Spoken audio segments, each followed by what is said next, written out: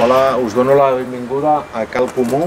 Cal Comú és un local que ha muntat la ONG Acció Planetària per tal de poder donar suport a les famílies que ho estan passant malament.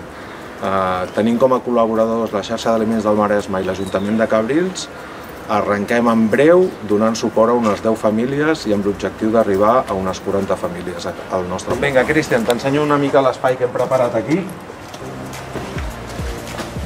Tenim aquí a l'entrada una sala. Aquesta sala serà on farem l'entrega de, dels aliments o els béns que puguem entregar. I tindrem el, el nostre magatzem d'aliments. Tenim una, una petita nevera que ha sigut una donació també i un congelador per emmagatzemar el menjar. Perquè la idea i la intenció d'aquest espai és que sigui un espai obert, a banda d'oferir també menjar, volem que sigui un espai social, és una crida eh, d'esperit de voluntari, el voluntariat universal planetari,